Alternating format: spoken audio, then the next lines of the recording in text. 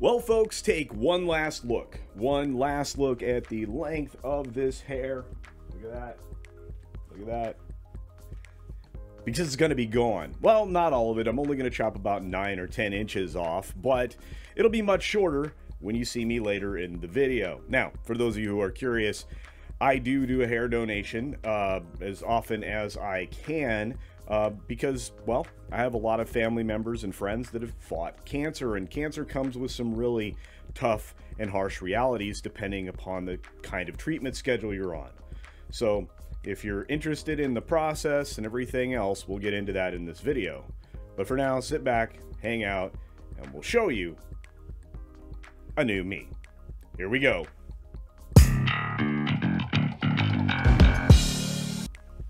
All right, well, let's start here. First of all, I about wiped out getting into the chair here. That was a lot of fun.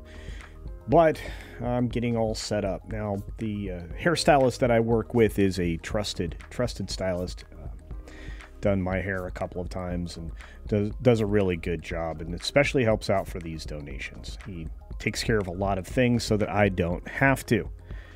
And as you look here at the uh, the measurement to make sure that he's getting at least 10 inches, I think it was closer to, to a foot long. We finally measured it out again.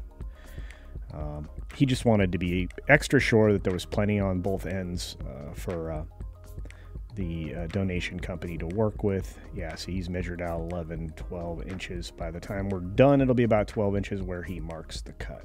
So um, he is uh, very skilled, knows what he's doing. And, uh, oh, here we go. Oh, no. I'm just a little bit apprehensive. Interestingly enough, uh, he does follow uh, follow my channel and keeps tabs on me. Also, is very knowledgeable about social media. I was trying to encourage him to actually do it. Was hoping he would.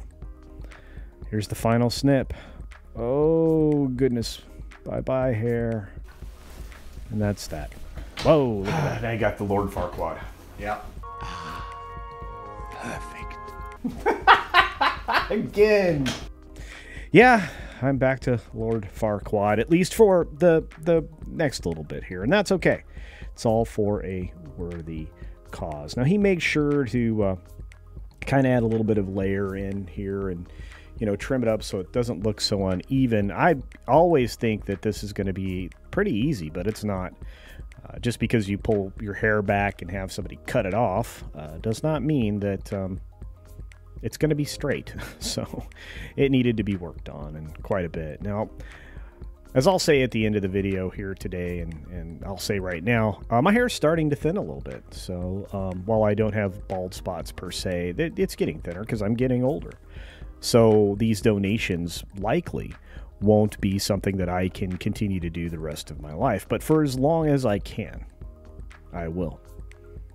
And this is a really important cause to me. It allows me to uh, share something that I was blessed with a whole lot of hair uh, with other people who uh, are going through something.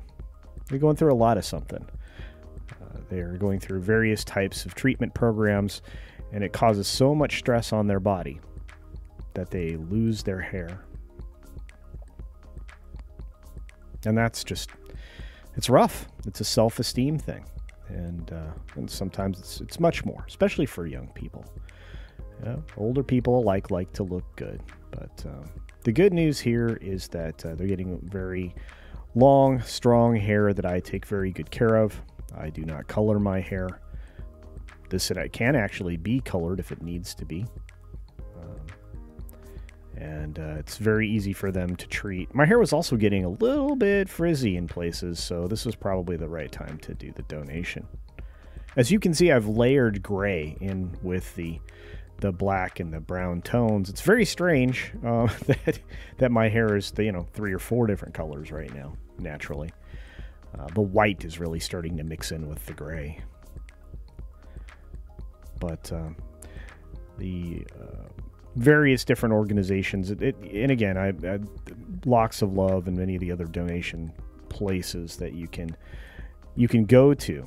Um, they do a great job of, of, of, getting the wigs together, and some some of the some of the charities don't charge for the wigs, and some do. Um, the hair is free from people like me. So, wow. That's really short. wow, that's really short. Oi. Uh, but the stylist is doing a great job here trying to make everything line up. I'm gonna have to go back in and get it get it layered up so that it doesn't curl so much. I know that I'll have to make another visit. Hopefully he has the time to fit me into his busy schedule. Oh, look at that. You can see I'm a little I'm, I'm struggling because you can see the little uh, wrinkle in my forehead. I don't usually see wrinkles in my forehead. And around my eyes I'm starting to get oof. Crow's feet. Look at that old guy there. Beard is getting a little raggedy too. My goodness. Well, I have to do some work on that this week. But for those of you don't know, cancer runs rampant in my family and friends. And it's important to me to make sure that um, I can do whatever I can. You know, obviously in person, you can do a lot for people when they're going through that kind of thing. You can support them, bring them meals, you know, keep them company, especially if they're going through something like chemo. Uh, if the if the treatment center allows for that, that's probably that's probably pretty good. Um, the uh, process of any of these treatments is a little rough. I feel very, I feel very much for people that are going through that because I've seen it in so many family members. Man, the and the stylist will make you feel comfortable because you know for some people this may not be as easy as it is for me. Some people may be very, very worried or disturbed uh, about this process. I can understand why. Hair is a very personal thing. But at the end of it all, somebody is going to get a pretty decent head of, head of hair out of this. A nice wig or maybe two or three. I still, despite the thinning that's going on in certain places around the edges, I still have very thick hair. Yeah, look at that. Zoom in. See, you can see I'm thinning in the front there. That's, eh. Uh, I'm not that vain. I don't care. I like the the mixed colors coming out the back of my hair. It's crazy. It looks like a cat pattern. You know, you never see the back of your head. It's very rare. Ah, and there we are. That's the donation bit.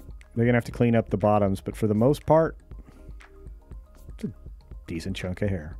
Anyway, thanks for checking out the video today. I really appreciate it. And, oh, well, I've got an outro for you with the, with the reveal.